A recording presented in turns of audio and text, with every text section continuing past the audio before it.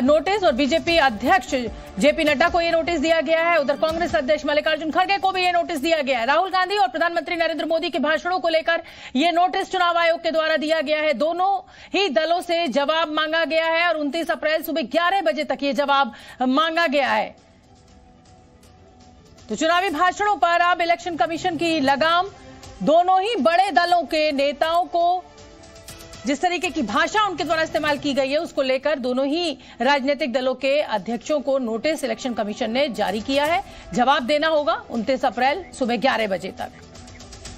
वहीं चुनाव आयोग के नोटिस पर कांग्रेस नेता जयराम रमेश ने कहा है कि हमने शिकायत की है, कुछ देरी हुई है, लेकिन हमें चुनाव आयोग पर पूरा विश्वास है। साथ ही जयराम रमेश का यह भी कहना है कि हमारे नेता के लिए जो नोटिस आया है, हम उस पर जवाब ज़रूर देंगे। इलेक्शन कमीशन को हमने शिकायत की थी। हमने उनकी जानकारी में हम लाए कि जिस भाषा का इस्तेमाल प्रधानमंत्री कर रहे हैं, वो मॉडल कोड ऑफ़ कॉन्डक्ट के खिलाफ है। रिप्रेजेंटेशन ऑफ़ पीपल्स एक्ट उन्नीस इक्यावन के खिलाफ है और सुप्रीम कोर्ट के जो अनेक निर्णय हैं, उनके भी खिलाफ है। तो कुछ देरी हुई है और भी हमने शिकायतें की हैं, जिस तरीके से अलग अलग उम्मीदवार धर्म का उपयोग, या मैं कहूँ, धर्म का दुरुपयोग कर रहे हैं। हमने इलेक्शन कमीशन को अवगत कराया है, और हम पूरा विश्वास करते हैं कि इलेक्शन कमीशन को जो कार्रवाई करनी है, वो करेगी। और इसी बड़ी खबर पर जी न्यूज़ के दो संवाददाता मेरे साथ लाइव जुड़ रहे हैं। मेरे साथ रविंद्र लाइव जुड़ रहे हैं और साथ ही अंजलि सिंह लाइव जुड़ रही हैं। रविंद्र, देर आए, दुरुस्त आए। देखिए, भाषण तो ऐसे बहुत दिनों से चल रहे हैं, लेकिन अब इलेक्शन कमीशन ने जाकर ये नोटिस दिया है। अब आगे क्या जवाब देने की तिथि जो है, उनतीस अप्रैल तय की गई है। लेकिन आप भी जानते हैं कि कुछ ज़्यादा बदलेगा नहीं।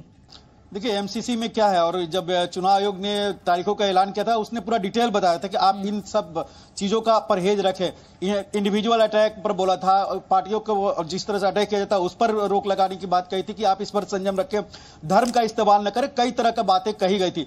लेकिन डे वन से इन सब का उल्लंघन हो रहा है। अब जब नोटिस आया है तो चूँकि प्रधानमंत्री स्तर पर यह नोटिस गया है चाहे राहुल गांधी के लिए गया हुआ है सभी दोनों पार्टियों के अध्यक्ष को इसका जवाब देना, जवाब दिया जाएगा कि आगे से हम ध्यान रखेंगे। लेकिन एक बात है कि बीजेपी लगभग एक दर्जन बाद लगभग बारह बार इलेक्शन कमीशन जाके शिकायत की है राहुल गांधी के खिलाफ कि जिस तरह से वो प्रधानमंत्री के खिलाफ भाषा का इस्तेमाल कर रहे हैं या जिस तरह धर्म का इस्तेमाल कर रहे हैं उसी तरह से कांग्रेस ने भी कई बार जाके इलेक्शन कमीशन से प्रधानमंत्री हो या बीजेपी के नेताओं के खिलाफ शिकायत की है हम्म। अब नोटिस आया है जवाब चला जाएगा लेकिन अगले चार जून तक या एक जून आखिरी तारीख है यानी मई के आखिर तक जो चुनाव प्रचार होंगे हम्म। उसमें इन सभी चीज़ों का आपको पूरा देखने को मिलेगा यानी कुछ रोक, रोक नहीं लगने वाली है हम्म। नोटिस जारी होगी संयम बरतने की बात कही जाएगी ये चुनाव दर चुनाव चलते रहेगा, चुनाव खत्म हो जाते हैं, नतीजे आते हैं, फिर अगले चुनाव में वही प्रक्रिया होती है।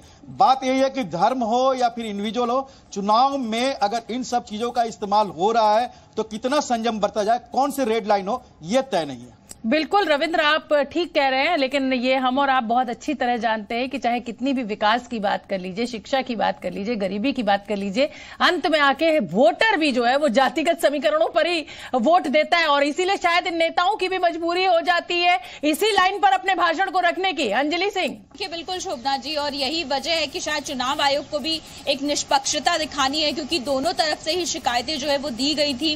चाहे वो कांग्रेस की ओर से हो, जहाँ पर डेलीगेशन गया था और प्रधानमंत्री के भाषण में जो शब्द यूज़ किए गए, उस पर आपत्ति जताई थी, और इस मामले में कई और दलों की ओर से भी शिकायत जो है वो चुनाव आयोग गई थी। वहीं राहुल गांधी के मामले में भी बीजेपी ने आपत्ति जताई थी कि उन्होंने गरीबी के झूठे गलत आंकड़े जो है वो पेश किए हैं। इसके साथ ही भाषा के आधार पर उत्तर और दक्षिण को बांटने के भाषण भी उन्होंने दिए हैं। इन तमाम चीज़ों पर दोनों दलों की ओर से आपत्तियाँ जताई गई थी। और ऐसे में चुनाव आयोग को एक स्टैंड ज़रूर लेना था क्योंकि आपत्तिजनक बातें कही जा रही हैं जब चुनाव प्रचार में और वो मॉडल कोड ऑफ़ कंडक्ट की गाइडलाइन से अलग है। तो ऐसे में ही दोनों पार्टियों के अध्यक्षों को नोटिस किया है क्योंकि देखिए स्टार कैंपेनर जो होते हैं उनकी भाषा की ज़िम्मेदारी भी पार्टी अध्यक्ष पर डाली गई है और अब ऐसे में दोनों को ही जवाब देना होगा अपने अपने स्टार कैंपेनर्स के इन पूरे वक्तव्यों पर जिन पर आप रविंद्र मैं एक छोटा सा छोटा सा जवाब आपसे ले लेती हूँ। अगर हम इतिहास पर नज़र डालें तो नेताओं को नोटिस दिया जाता है या राजनीतिक दलों के अध्यक्षों को दिया? बिल्कुल जैसा अंजलि ने कहा चूँकि मामला